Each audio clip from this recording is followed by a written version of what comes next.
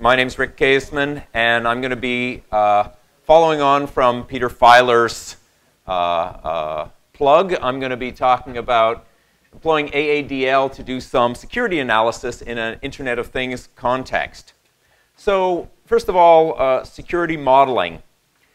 Um, we believe, and, and many other organizations believe, that modeling security in the architecture is an opportunity because critical decisions are made in the architecture that can enhance or negatively affect security.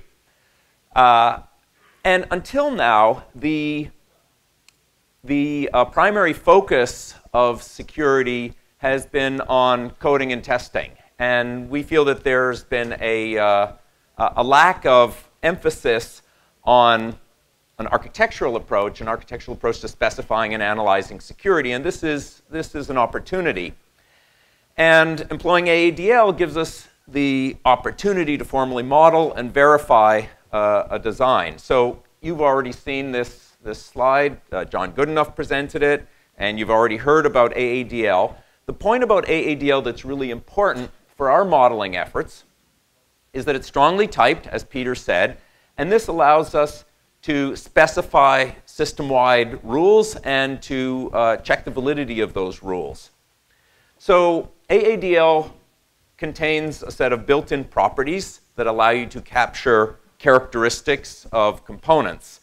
So uh, again, uh, following on the example that, that Peter was talking about, you might have a component that performs encryption, and this component might have one property specified for latency, and another for the type of encryption. And uh, you can uh, uh, do analyses based on the values of these properties. So you've seen this picture before. AADL encompasses a number of different kinds of analyses. And of course, we want to enhance that upper right-hand corner. Uh, we want to enhance the capability of, of specifying and modeling security. So to do this, we we needed a case study, something to motivate this investigation. And uh, our goal was to do something in the Internet of Things. And this harkens back to uh, Kevin Fall's introduction this morning, where he talked about things being networked together that perhaps were not originally designed to be networked together. And this is what you often see in Internet of Things examples. So uh, to, to specify it even more closely, we decided that we would look at the problem of automotive electronics. Because uh, in automobiles, they are now networked, they are now, um, uh, they contain uh, many processors, uh, internal networks, as well as network connections to the external world. And this provided uh, a rich uh, example for, for us to understand and explore the capabilities of security modeling. So to begin with, we needed to reason about what kinds of threats would this automotive electronics example face. And to explore this, we employed the STRIDE model, which is a model that originated in Microsoft a little more than a decade ago. The word STRIDE is an acronym made up of the uh, initial letters of the six kinds of threats that it models spoofing, tampering, repudiation, information disclosure, denial of service, and elevation of privilege. And the idea of the STRIDE model is this gives you a structured way of walking through different kinds of threats in a disciplined fashion to try and understand their consequences. By the time we began employing STRIDE to reason about the threats that the architecture faced, we had already done quite a bit of architectural specification in AADL. And this allowed us to very quickly reason about the types of threats and their implications on the architecture. Would this particular threat affect a data store? Would it affect data in transit? Would it affect a, a, a running process? So what we did is we, over a course of uh, several sessions, we instantiated each of these threats, because uh, let's say spoofing or information disclosure or denial of service is a category. And we had to create an instance of this category in the context of our automotive electronics problem. So for each one, we specified how the threat might be realized and the implications on automotive electronics. And then uh, this consideration led us to determine a number of risks, risks to the system, risks to the architecture, which in turn led us to ask a number of questions. And these questions would drive design. So these questions would lead us to make design decisions about system-wide properties or system-wide capabilities, such as, uh, again, what, what Peter was saying, you might need an authentication and authorization service within the architecture to mitigate a, uh, a particular threat. And so this let us uh, reason about the property that was violated and how we could mitigate that property. So we were uh, building up this um, example, this automotive electronics example. And as you can see from uh, this, this picture, which is just a, a piece of the example that we constructed, there were sensors, there were actuators, there were people, uh, there were components that would allow you to connect to the external world, like a digital radio. Sensors were things like an engine status sensor or a wheel motion sensor.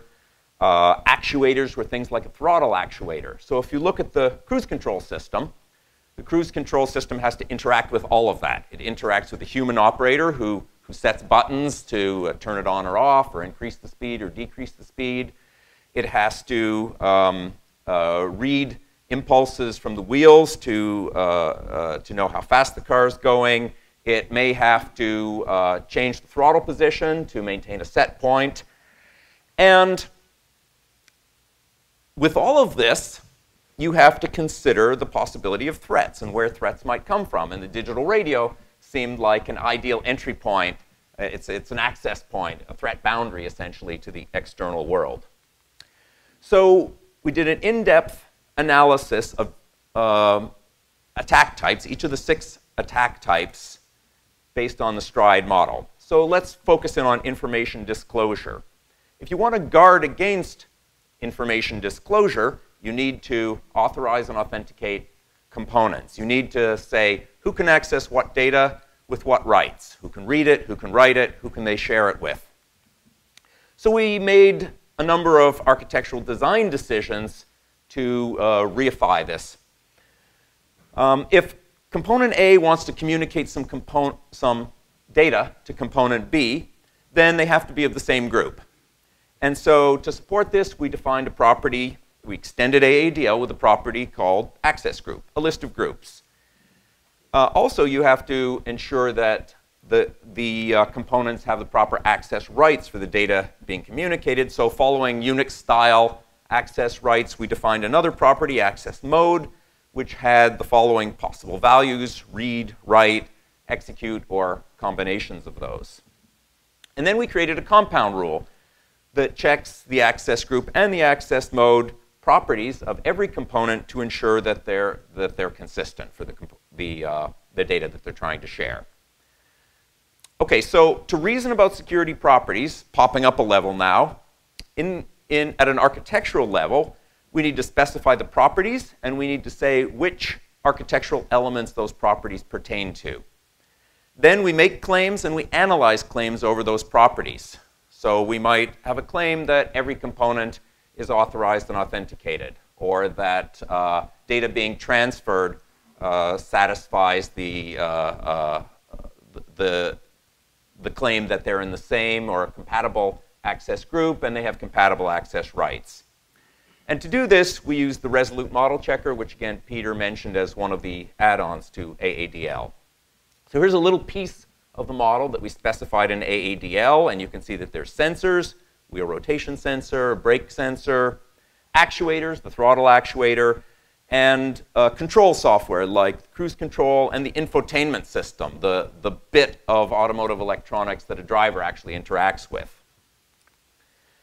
So to make this example even more concrete, a vehicle speed sensor has to be able to communicate its speed to other components in the system. So it might write to a global data area from which multiple other parts of the uh, automotive electronics can read.